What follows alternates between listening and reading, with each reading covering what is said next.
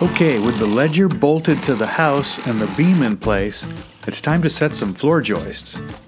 That begins with laying out the beam to match the layout on the ledger. Rick works his way down the beam one way, making marks, and he works his way back, squaring off those layout marks and indicating which side of the line the joist will sit on with an X. After the joists are tacked in place, they'll add joist hangers. But first, they set an outer joist and use that as a brace to square up the beam.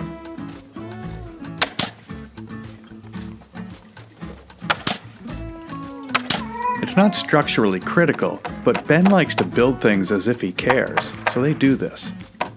Look at this show of accuracy. Notice how many times Rick misses the nail he's swinging at.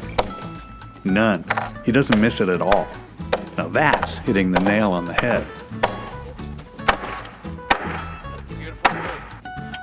To set the rest of the joists, Ben places the top flush with the flashing and then he toenails it through the top of the joist into the ledger. The joists are crowned up and tacked in place.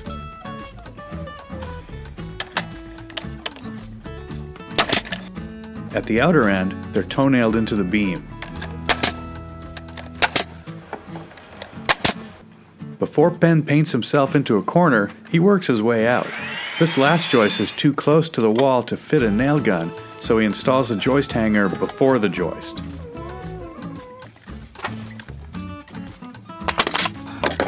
And before installing that joist, he bolts that side ledger to the house.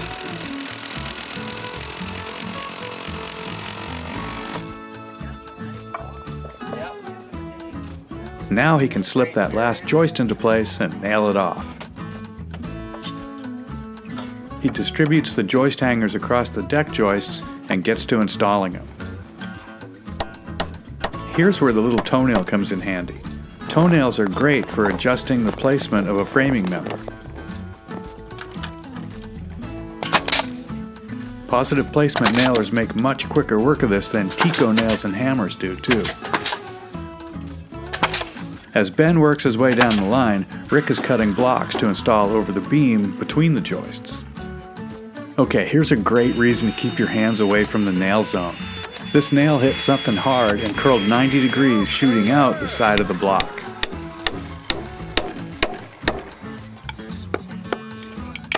Ben toenails one end of the joist and face nails the opposite end. Now he can toenail the rest of the block. With the blocks in place, Rick cuts the joist to length. One advantage of this is that you can cut the length to perfectly match the decking width. You just have to do a little math. Snapping a line and marking the joists after they're installed is a good way to make sure the outer rim is perfectly straight. Or at least as straight as the carpenters can cut.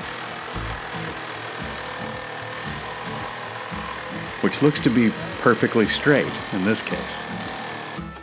Speaking of the rim joist, it's time to add that now. They look for a relatively straight plank to start with, but regardless, Ben's going to end up working one end with a nail gun while Rick drives the other end Oh yeah, drop just a little hair. up or down A little bit more. Yeah. to make it right. Up. Inevitably, there'll be a problem joist which may be squashed into submission with a clamp.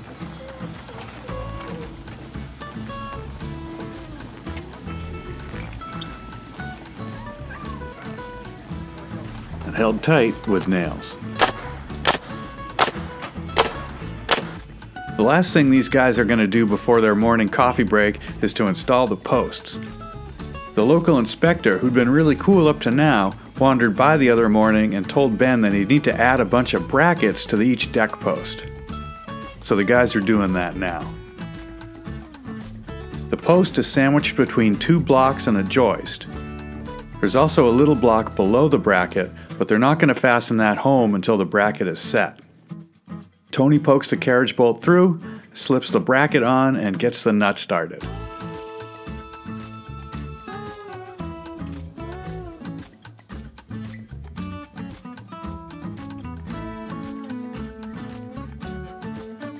He tightens the bolt home taps the bottom block into place, and screws the bracket into the block.